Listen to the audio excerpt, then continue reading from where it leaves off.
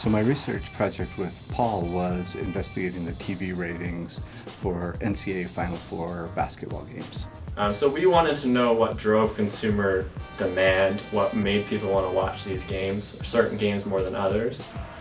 Um, and the big takeaway from this was that in college basketball, in March Madness especially, the average fan doesn't really care for the traditional powerhouse school like a Duke or Kentucky, UConn. Um, they'd rather watch a smaller school, a Cinderella, go all the way. That makes people more excited about college basketball. And that's a little bit different um, than professional sports where you know the big market teams are usually the biggest draw. When you look at small teams, you know, they're not saying they want free access into the, the, the, highest levels of the tournament. They're saying, give us a chance, right? Give us a chance, and if we can win, uh, people will be drawn to that story.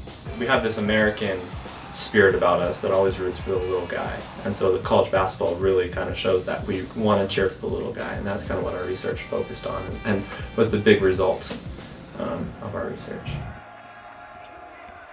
So this research started in, in by our collaboration with the BYU Broadcasting.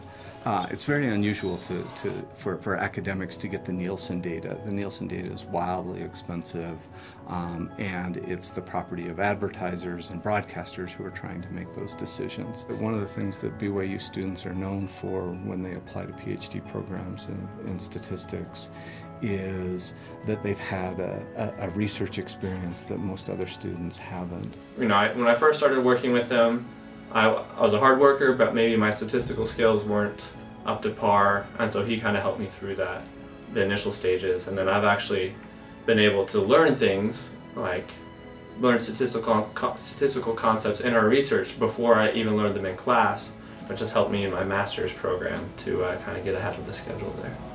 Um, different students have different degrees of that, and I think uh, it does stand out when, when a student like Paul has a paper that he can point to and say, uh, pick me up. I, am a good candidate not just for the program, but for the research expectations. I, I know what I'm getting myself in for, and I do it well.